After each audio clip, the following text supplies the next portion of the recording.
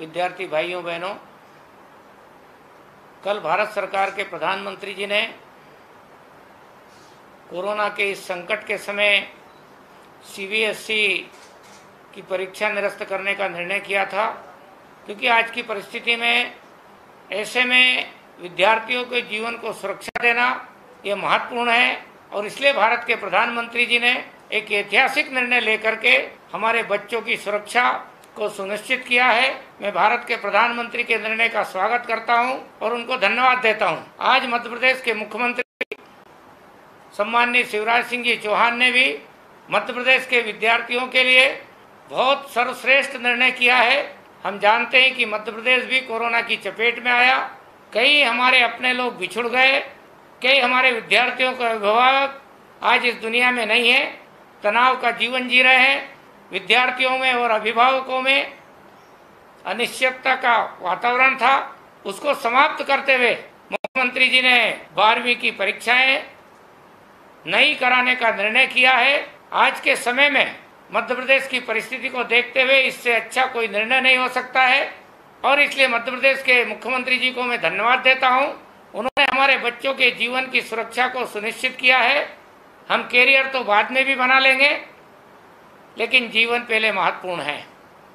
और जैसा कि लोग, एक्सपर्ट लोग बता रहे तीसरी लहर आने वाली है। और क्योंकि तीसरी लहर बच्चों को या 18 साल से कम उम्र के विद्यार्थियों को ज़्यादा प्रभावित करेगी, क्योंकि उनका वैक्सीनेशन नहीं हुआ है, और इसलिए भी यह निर्णय महत्वपूर्ण था। किसी भी विद्यार्थियों को घबराने की ज़रूरत नहीं है। हम रिज़ल्ट सीट एक वैज्ञानिक पद्धति से तैयार करेंगे। उसके बाद भी यदि कोई विद्यार्थी को उसमें संतोष नहीं होता है तो इसका भी विकल्प हम देने जा रहे हैं। मैं आज सभी विद्यार्थियों से निवेदन करता हूँ, उनके अभिभावकों से निवेदन करता हूँ कि हम इस कोरोना महामारी में अपने आप को सुरक्षित रखें, कोरोना प्रोटोकॉल का पालन करें और मास्क ज़रूर लगाएँ। यही आज हम सबकी महत्वपूर्ण जवाबदारी है। सभी विद्यार्थियों की मेरी ओर से फिर से नमस्कार। जय हिंद, जय भारत। हेलो बच्चों, पढ़ाई में डाउट्स आते हैं तो घबराइए मत। सबका सोल्यूशन है डाउट नट बच्चों, आप किसी भी सवाल में अटक गए हो, बस आपको उस क्वेश्चन का फ़ोटो लेना है क्वेश्चन को क्रॉप करना है और पाँच सेकंड के अंदर अंदर आपको उसका वीडियो सोल्यूशन मिल जाएगा।